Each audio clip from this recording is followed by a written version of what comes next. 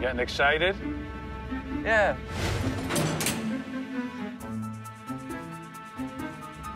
A little nerve-wracking, but I'm holding her together.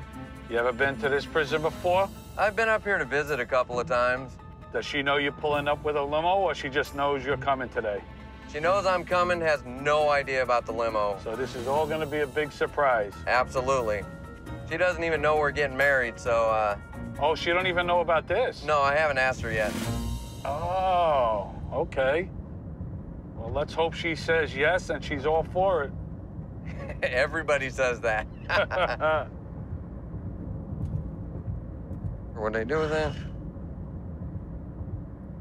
Just gotta pray.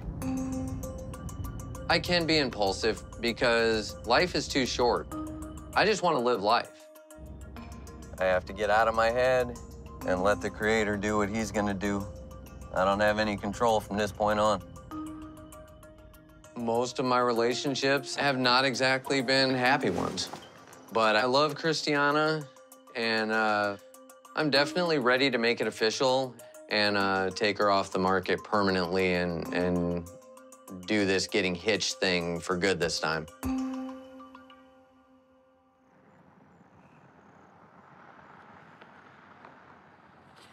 All right, she should be walking out the door any second now, I think.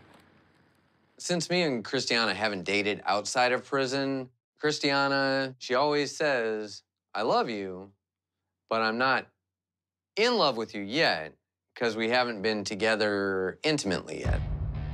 So I'm just gonna take a shot in the dark and see what happens. See somebody walking. No?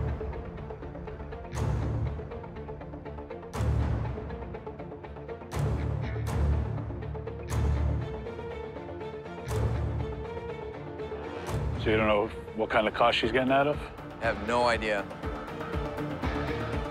She should be out already. I don't know where she, uh, where she ran off to.